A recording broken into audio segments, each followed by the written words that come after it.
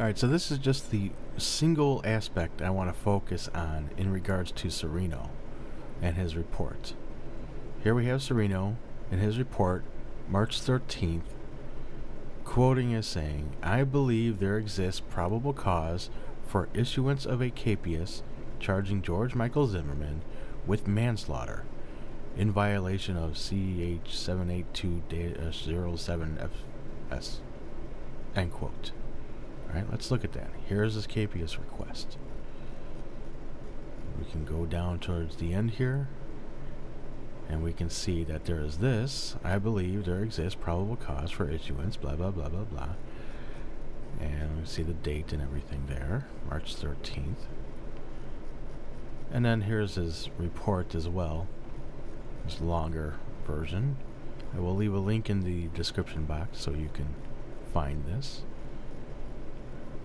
Do, do, do. Scrolling down to the end if I ever get there. There we go.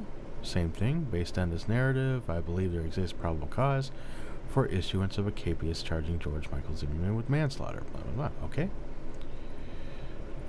So, that's what he says on March 13th. However, three days later, what does he say in the media?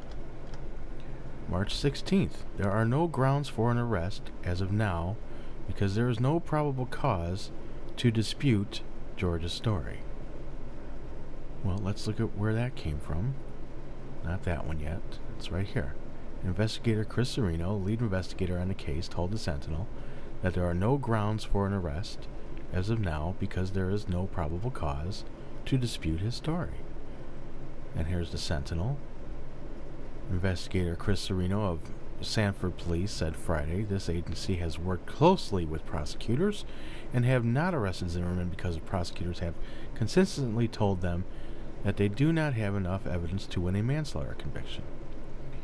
What does Serino say? That's because Zimmerman says he was defending himself, something he's allowed to do under Florida law, and something everyone should be allowed to do regardless of law, defending yourself. the best account of what happened, now this is Serino, the best account of what happened came from Zimmerman, Serino said. Other witnesses who saw or heard part of what happened corroborate his version of events. The investigator said. Now, that's quite a turnaround, if you ask me. Three days. So what is it? That's it. I mean, look at that. That's what I'm interested. Just a single aspect right now. I mean, I know what Crumpet would say, but I don't. I don't. I want to know what you say. All right. So that's it. Peace out, my brothers, sisters, everyone between.